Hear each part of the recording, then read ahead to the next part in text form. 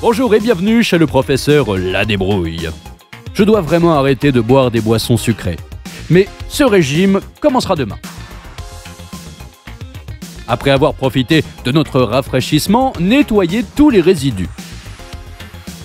Dans la quincaillerie la plus proche, achetez un papier de verre de grain 320 que nous utiliserons pour gratter le dessus jusqu'à ce que nous puissions facilement retirer le couvercle. Maintenant, sur le fond, marquez 9 points en 3 rangées de 3 à l'aide d'un marqueur permanent.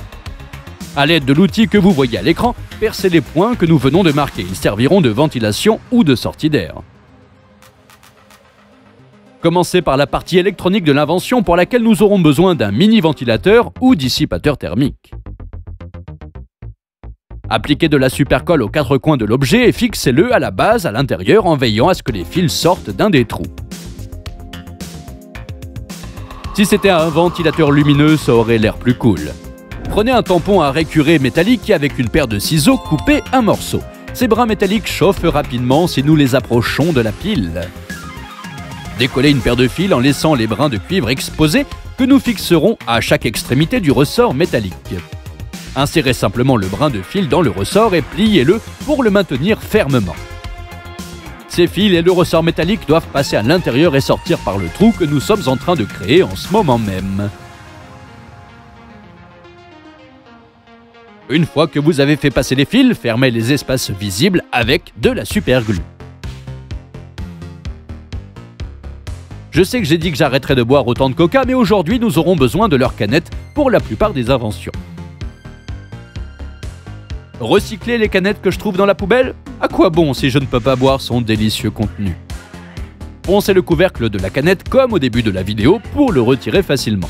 Au lieu de percer la base comme nous l'avons fait avec la première, nous allons l'enlever à l'aide du papier de verre. Je pense que c'est un peu sale.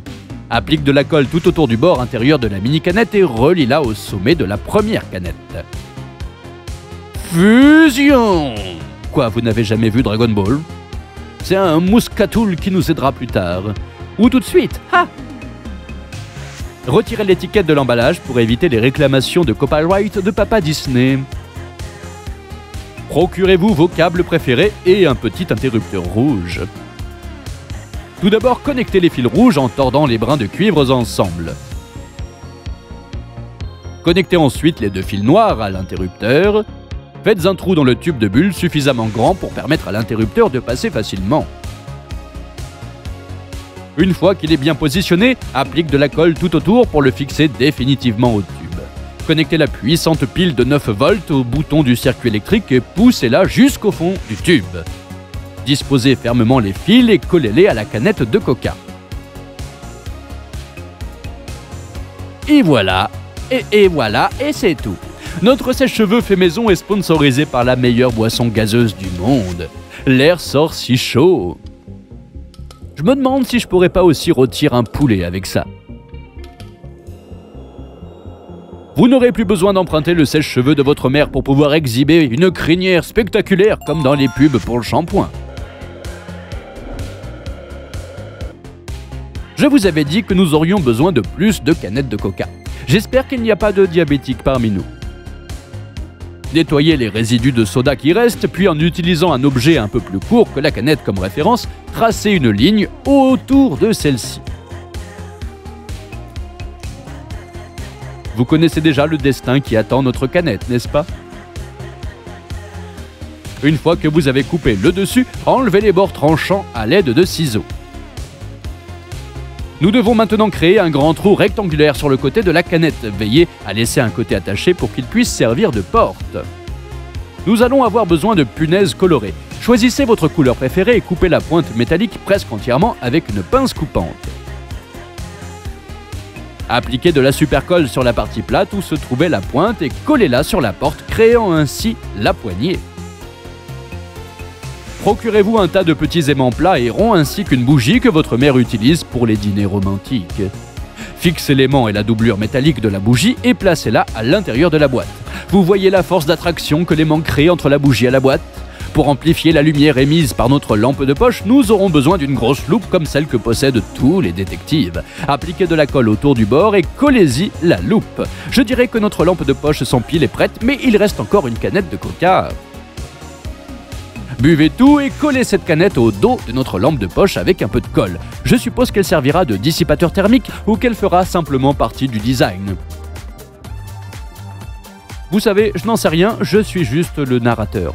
Allumez la bougie avec le briquet que vous avez sous la main et fermez la petite porte pour éviter que la flamme ne s'éteigne. Cette lumière est aveuglante, nous ferions mieux de la diriger ailleurs. Elle donne la même lumière qu'une lampe à pile, peut-être même plus, et comme toujours je jette une lumière sur vos vies mornes, vous êtes les bienvenus. Pour la dernière invention d'aujourd'hui, nous aurons besoin d'une autre canette, mais pour changer, nous utiliserons cette boisson pour adultes. Si vous avez moins de 18 ans, utilisez à nouveau l'une de vos boissons gazeuses préférées. Désolé Timmy, un jour tu pourras goûter à ce doux nectar des dieux. Avec un outil pointu, faites un tas de trous au hasard et procédez à l'enlèvement du dessus avec un cutter, une scie électrique ou tout ce que vous pouvez trouver qui coupe l'aluminium. Une fois que c'est comme ça, nettoyez tous les résidus délicieux qui peuvent rester. Il doit avoir l'air aussi poli que lorsque vous allez à un rendez-vous avec la fille qui vous plaît. Et si on mettait un peu de rock'n'roll pour une meilleure ambiance Non? Alors quelle musique aimes-tu? Nous aurons besoin de cette lentille, de sa carte électronique, du lecteur CD. Regarde comme elle est petite et jolie De plus, nous aurons besoin de l'interrupteur habituel et des fils de courant positif et négatif, les bases de tout circuit électrique. Coupez un morceau du fil et connectez les deux extrémités aux broches de l'interrupteur rouge. Jusqu'ici, c'est facile. Pour protéger les connexions, utilisez un peu de ce ruban isolant noir. Connectez les deux autres extrémités du fil à la carte électronique. Sortez le boîtier à piles de votre jouet préféré et insérez les quatre piles dont vous aurez besoin. De préférence des Duracell, car elles durent plus longtemps. Remettez le couvercle et effectuez l'installation en reliant les fils du boîtier à la carte électronique comme je le fais. Tout cela devra avoir son propre système de refroidissement afin d'éviter toute surchauffe lors de nos missions d'espionnage. Connectez le ventilateur au boîtier de la batterie par le même trou que celui d'où sortent les fils et il sera prêt à refroidir votre rayon laser. Applique de la supercolle sur un bouchon de liège que tu peux prendre sur une des bouteilles de ton père et fixe la carte électronique, puis collez-la à l'intérieur de la canette avec le petit truc doré qui pointe vers l'extérieur. Le ventilateur fonctionnera comme un dispositif de refroidissement pour évacuer l'air chaud qui se concentre à l'intérieur de notre invention. Et le boîtier de la batterie sera fixé en dessous de tout ça. Il nous reste plus que deux étapes cruciales jusqu'à ce qu'il soit possible de faire voler une voiture avec notre rayon laser. La première consiste à ajouter une loupe géante à notre invention que nous fixerons avec de la supercolle.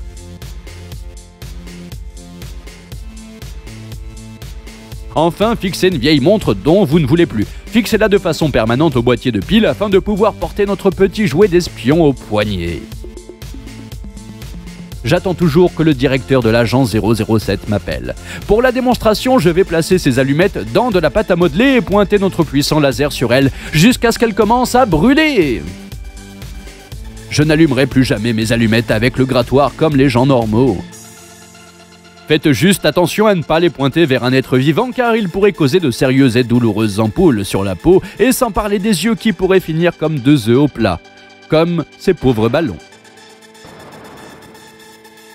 Il pourrait aussi servir à divertir votre méchant chat.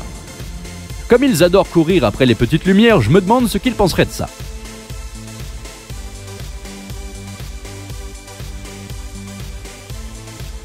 La prochaine fois que j'aurai une invention comme celle-ci, je vous le ferai savoir. Restez à l'écoute et surveillez le ciel. C'était les inventions d'aujourd'hui. Jetez un coup d'œil à ma chaîne si vous voulez apprendre à faire d'autres inventions étonnantes et simples. Et voici deux vidéos sur des inventions encore plus impressionnantes. Et ici, vous pouvez vous abonner à ma chaîne pour ne manquer aucune de mes vidéos. Merci à tous d'avoir regardé et à bientôt.